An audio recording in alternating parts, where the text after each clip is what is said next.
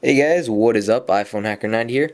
Today I have the long-awaited video of the iPhone 4S jailbroken, um, and this also works for the iPad too, but um, this is the iPhone 4S on 5.0.1, as you can see at the top right there. Alright, and it is jailbroken. I'll show you Cydia in just a sec. And there you go, have Cydia right there. And this is the 4S, just to show you. I'll bring up Cydia, or Siri basically right there. And Cydia works just as it would on any other device. There you go, Cydia right there on the iPhone 4S and uh, iPad 2. So I'll go ahead and switch over to the computer and show you how to do this. So now we're on the computer and here's basically how you physically actually jailbreak the iPhone 4S or iPad 2.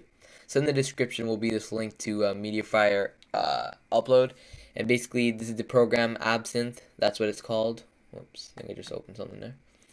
Absinthe. So uh, go ahead and download that. It'll take about five seconds. Once it's downloaded, check your downloads file and just look for a green poison little icon. Go ahead and open that up and pretty much you're halfway done.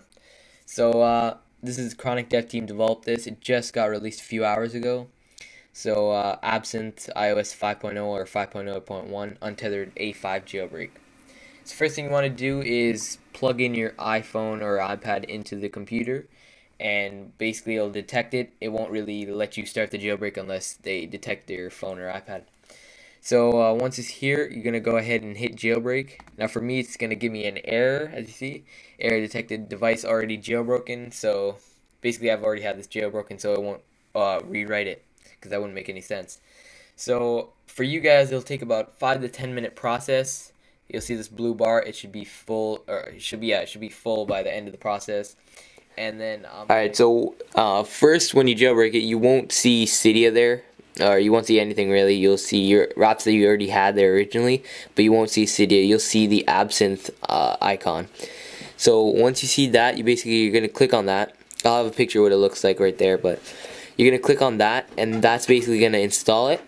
And if it gives you an error, what you're going to do is go into your settings and uh, you'll have an option that says VPN. It'll be like right under here. You're going to turn that on. It's going to have the scrolling wheel and then it's going to give you an error. You hit OK on that error and basically the phone's going to reboot, reboot or restart. After it restarts, you should see a Cydia icon and the absinthe logo or icon will would be disappeared. And after that, guys, basically you're jailbroken. So, uh, yeah, the full jailbroken uh, iPhone 4S and iPad 2. So thanks for watching, guys. Comment, like, dream I could buy my way to heaven. When I awoke, I smit that on a necklace. I told God I'll be back in a second. Man, it's so hard not to act reckless.